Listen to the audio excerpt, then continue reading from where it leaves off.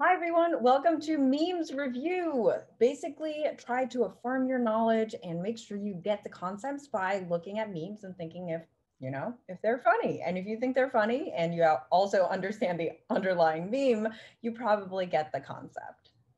All right, so let's get started on generative adversarial networks. Welcome, or GANs as they're more fondly known as. GAN is their acronym, and we'll be going over every single word here, generative adversarial and networks.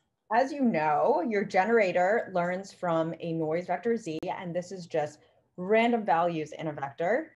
And it's expected to generate these really realistic faces that you see here on the right. That's the generator's job, and it is hard, as you can imagine. This seems hard to go from pure noise, randomness, to something very structured and realistic looking. But it gets help. The generator gets some help. And it gets help from its opponent, actually. And this is where the discriminator comes in. Or perhaps you can call it an adversary. And so this is where the word generative comes from and adversarial comes from in generative adversarial networks. All right, so the generator gets help from the discriminator, its adversary. And if you've seen Queen's Gambit, which is a show on Netflix where a girl named Beth Harmon here on the left learns how to play chess over time and becomes a, an amazing chess player at the end. But in the beginning, she's learning chess for the first time. So this is iteration zero, where she's the generator, perhaps, and the discriminator is her opponent, which is actually her teacher slash it's actually the janitor, but he does teach her initially how to play chess. So GAN training is very much like playing chess in the sense that you are going against an opponent who makes you get better over time because you learn their moves. And by the end, she is a world class champion, really amazing chess master. So, this is her best iteration where she does defeat a chess grandmaster at the end. All right, so the discriminator, the opponent, the adversary, also gets help because it might sound uh, hard not to. And it actually gets help from seeing the correct answers. And at first glance, this might seem unfair, okay? Because the discriminator gets to see the correct answers. Obviously, it seems like it's basically cheating, uh, but it actually has to take the test before seeing those answers. But this means that it has to decide when it sees these random images whether it's real or fake before it's told what the answer is.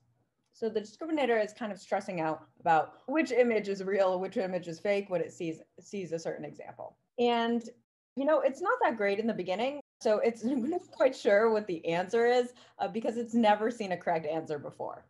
At the very beginning, discriminator really has no idea what it's doing, and it gets better after seeing some answers. And the discriminator's job is to try to get 100% on this test every single time uh, before it gets to see the answers. So it wants to squeeze out every little bit and get 100%. Meanwhile, the generator's goal as an adversary, as an opponent, is the opposite. And the generator's goal is to get the discriminator to get a 0% on that test. So it wants to fool the discriminator somehow. And so the generator does that by studying the opponent's moves, by studying the discriminator's moves and understanding, you know, what has the discriminator guessed on its images. So the generator produces some fake stuff and sees how the discriminator is answering on its test and uses that as feedback to try to, you know, figure out some things that might fool them. So here is uh, Beth Harmon from from the show Queen's Gambit, studying the moves of different opponents, of past opponents, of past um, test players and going through the motions of what, what they're doing. And so ultimately, the generator wants to fool the discriminator. And so a fool discriminator will think that the fake image is actually real, and maybe even that the real image is fake. All right, so more realistically, if we're a step back, iter zero, the discriminator actually has no idea what they're doing. in the show, the person is more knowledgeable in chess than she is, but here in this setting, at the very beginning, neither player knows anything until the discriminator starts to see some correct answers and the generator gets that back as feedback because they're looking at what the discriminator is doing and assessing on its fake image and then they both get better over time so then maybe iter 1 looks like this after the discriminator gets some of that feedback around iter 10 you know a few more iters out both of them get better until at the very end, perhaps you have your best iteration where you would want your generator.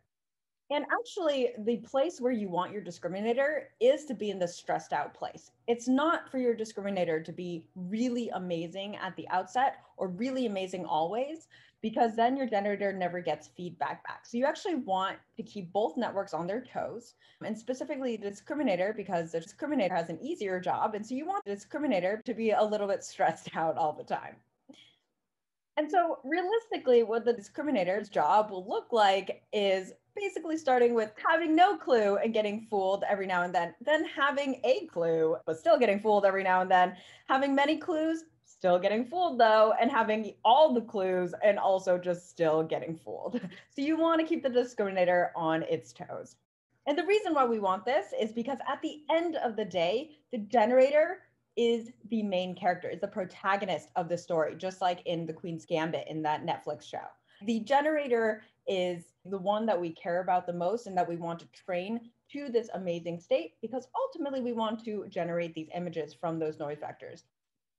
All right, so that covered generative and adversarial and how those two networks interact. So more about the network components. What is this network? And indeed, it is a neural network you will be going over these modules this week and I, I would say the review can be pretty useful. Probably shouldn't change this person's mind about that. it can be pretty useful, especially if you're a little bit fuzzy. But of course, you feel free to skip over it if you feel comfortable. And so networks certainly refers to neural networks. And these are all the different components that you will be reviewing that are relevant to GANs. And I think the only component that might not be review in this section is transpose convolutions.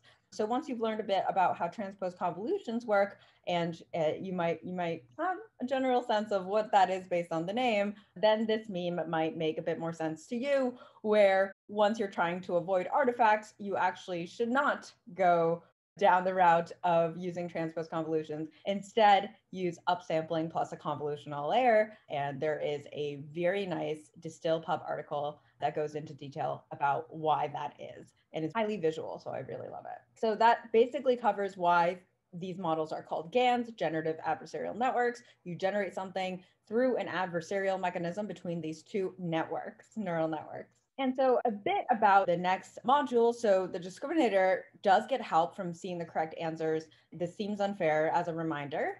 This seems unfair because if you imagine this as a task of modeling pizzas, the discriminator's job is to tell a pepperoni pizza from a veggie pizza, for example. It's just all it needs to say is, you know, whether this is pepperoni or veggie.